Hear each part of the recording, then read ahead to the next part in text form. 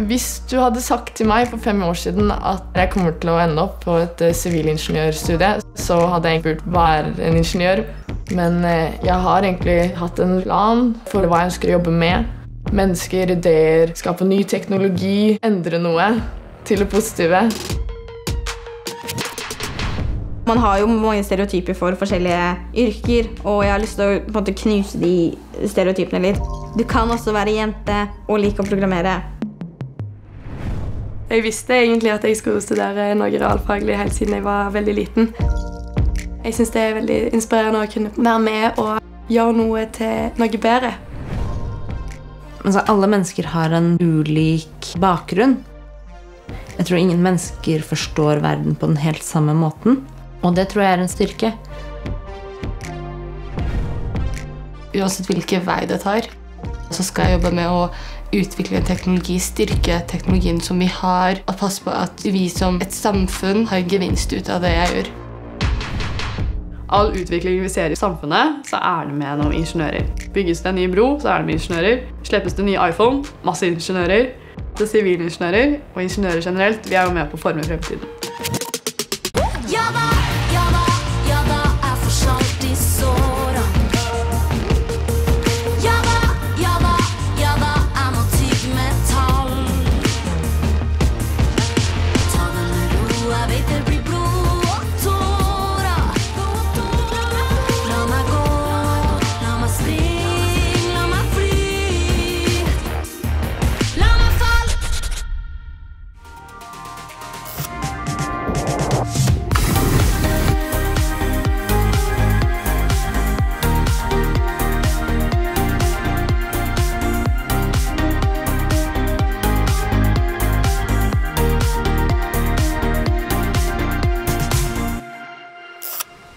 Dag så letes det etter floghavre. Ikke, ikke sommerens høydepunkt.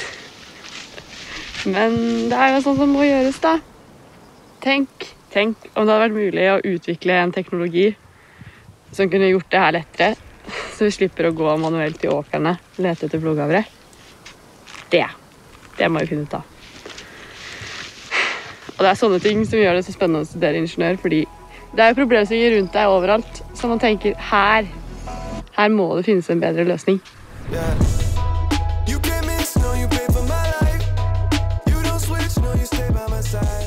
Jeg er så heldig som har fått oppveksten min på gård. Både mamma og pappa er 100% bønder. Har med maskot i traktoren i dag. Lotta! Ja! Det pløyes i dag. Tok en liten pause nå, bare for å nyte. Så flytta hjemmefra som 15-åring for å gå på toppidrettsgymnaset på Lillehammer. Og så fant jeg ut at det er en ekstremt stor forskjell på ski i langrennsmiljøet. Samme hvor god jeg er, så vil ikke skiene mine være gode nok. Og det ble en motivasjon for å begynne på sivilingeniørstudiet innenfor produktutvikling og produksjon. Da valgte jeg å pakke skia vekk, og jeg angrer ikke ett sekund.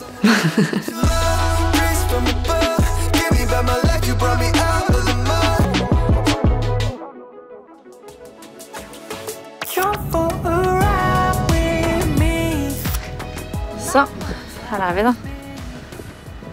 Forskningsparken. Fordelen da, med å jobbe i fellesferien er at det er sjukt lite folk. Kanskje det blir litt chill.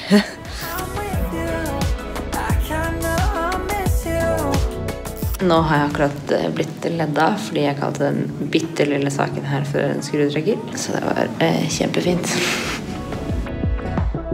Hei, eh, jeg sto nettopp opp. Jeg følte meg litt shit fordi jeg sovna ikke før sånn tre. Fordi når jeg powernapper på dagen, så ødelegger jeg hele døgnrytmen min. Dødsirriterende. Eh, jeg vet ikke helt hva jeg skal gjøre i dag. Jeg er litt stuck.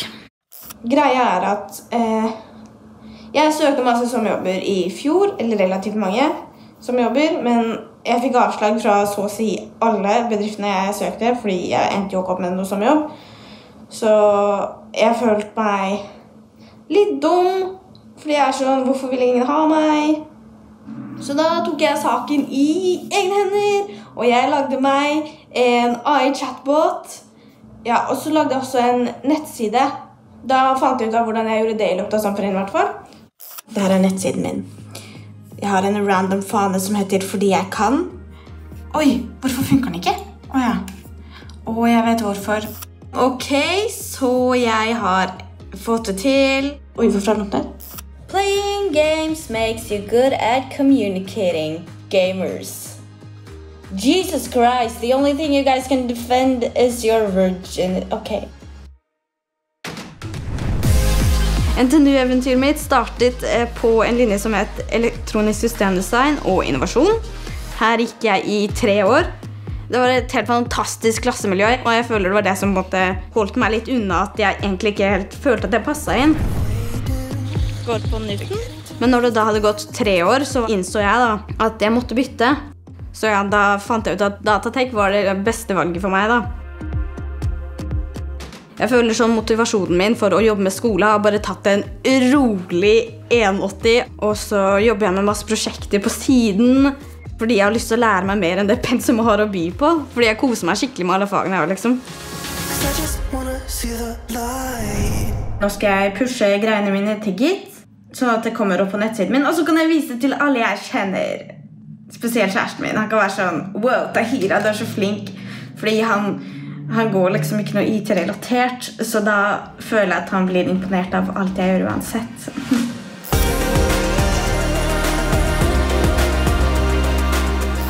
Da er det egentlig bare å komme seg til kontraskjæret og til jentene for å starte fredagskvelden.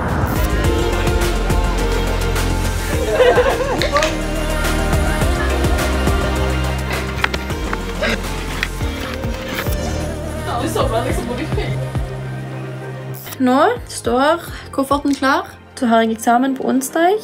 Etter det, da jeg skal leve livet. Nyte studentlivet, altså. Men først eksamen. Første eksamen.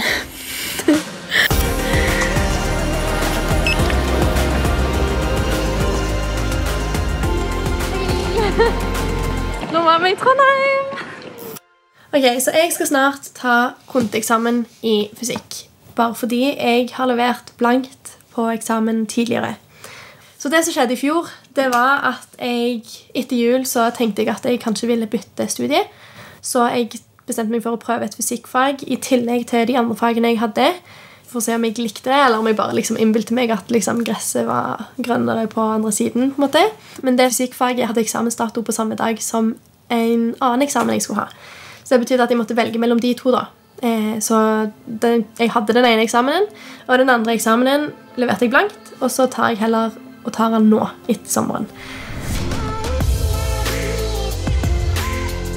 Jeg eh, begynte å studere rett etter videregående i fjor. Da begynte jeg å studere bioingeniør. Og så fant jeg egentlig bare ut at eh, det var litt for mye kjemi og litt for mye praktisk.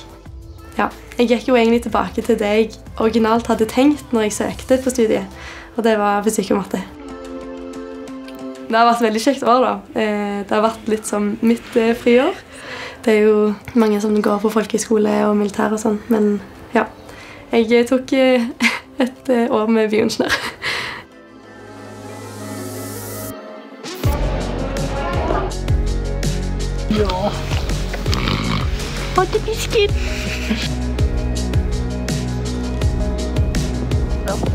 Til å reise til Trondheim, da.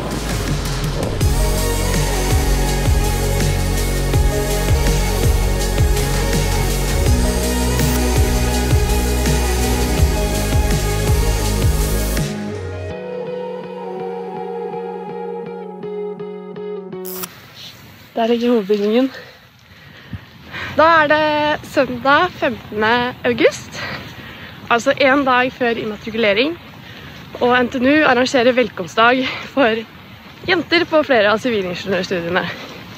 Jeg er derfor på vei for å ta imot de nye jentene og representere kvinnenettverket Hypatia. PUP kan være litt sånn forvirrende, for det er veldig et hvitt studie. Men det er ekstremt mange muligheter. Jeg gleder meg masse nå, da, for jeg er på tredjeåret. Så endelig har jeg liksom valgt hovedprofil. Så det semesteret her så har jeg liksom valgt nesten alle fagene mine selv. I Hypatia jobber da med rekruttering. Både å få jentene til å bli værende på linja og innse hvilke fantastiske muligheter vi har på disse studiene. På mange måter så er det litt sånn ironisk at jeg er med på jentenettverket. Fordi jeg er vel en av de jentene som ikke har meldt meg på noen sånne ting tidligere. Jeg har liksom ikke sett helt behovet. Men nå har jeg på en måte fått kjent det litt mer på kroppen. Med Hypatia så håper jeg at vi kan være med å bygge et fellesskap. Ikke en jenteklubb, men et fellesskap for både gutter og jenter. For jeg tror eh, det å ha ekstremt fokus på bare kvinner, da går likestillinga litt feil vei. Likestilling er jo at vi er likestilt, ikke at kvinner er noe særegent. Nylig så har IV-fakultetet starta opp jenteprosjektet Hypatia. Det er litt det samme som Ava.